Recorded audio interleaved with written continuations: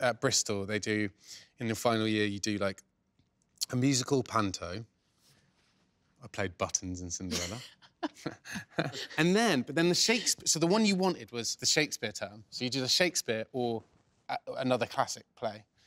And I remember the casting came out, and we all like ran up to the little um, like staff room place where they put the casting, and we were like looking, looking, and I just saw my. So we're doing Love's Labour's Lost, and I saw mine, and it was Josh O'Connor, McCardy, and I was like, oh, is it McCardy?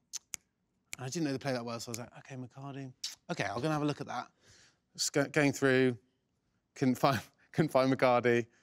I really can't find McCardy. then I got this little note in my, in my, like, in the student area saying, will you come and see the head of acting, who was directing it? So I went to, to see John Hartoch, who's brilliant.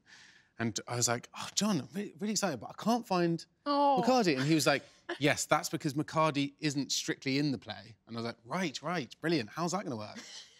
And he was like, so what we're going to do is we're basically piecing like a, a few one-liner parts and creating this new part. and I was like, right, so I've got four lines of Shakespeare in this, like, in the biggest term as far as I was concerned. But oh. he was very sweet, and um, I just, I, it was a master, not a masterclass, but I loved like trying to upstage people. Just like, I'm trying to put people off. It was great.